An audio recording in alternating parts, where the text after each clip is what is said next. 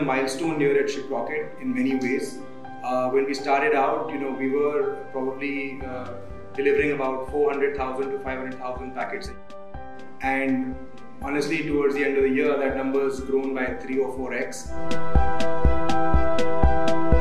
So it has been an exciting journey in this last four months. So uh, specifically because this sector is growing exponentially. Thousands of brands have trusted the platform for their supply chain management, including the leading FMCG players of India and a consumer electronics brand. We are growing at a tremendous pace and we see a lot of potential for the coming quarters.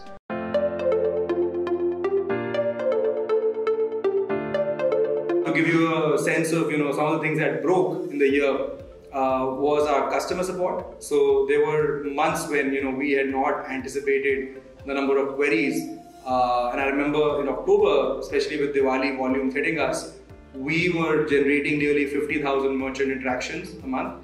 In the beginning of uh, year 2019, we were facing a lot of uh, issues from our sellers about the support and the kind of support they are getting. So, first of all, we moved our uh, support desk to a better one.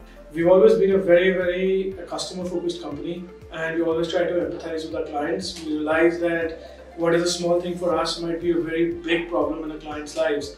And I think 2019 for us has been about making ShipRocket a very empathetic company so that we can actually feel our customers' pain. We are actually managing our 1000 clients in key account management. The kind of support that actually sellers expect from us, we try to deliver them on priority. We kept our focus also on to develop more number of features in our system and panel uh, like NDR and all so that we can give the sellers an option to uh, function better. A seller could create escalations from panel itself uh, so that we could reduce the friction and eventually uh, this will convert into uh, delightful product for customer. Ours is a ride intensive system.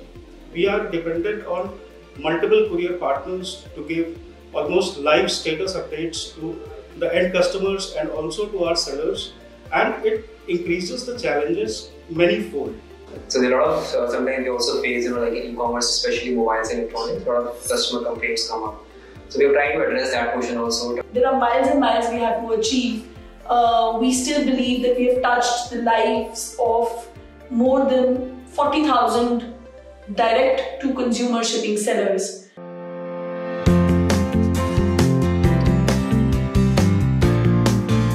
Some of the key areas we are focused on in 2020 is to bring uh, a better consumer experience for our merchants. That's a key focus area for us.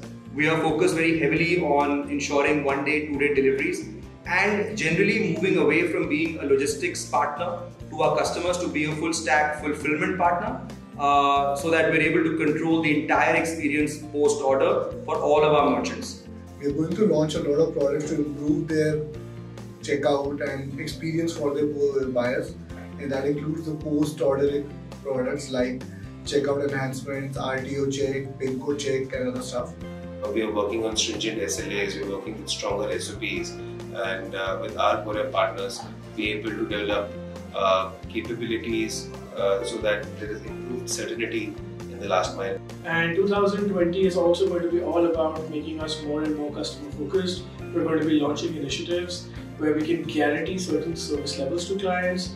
We're expanding our account management teams, our customer services teams, so that our goal is that if you are a customer and you call ShipRocket, you should not have to wait more than a minute to be able to speak to someone from the company.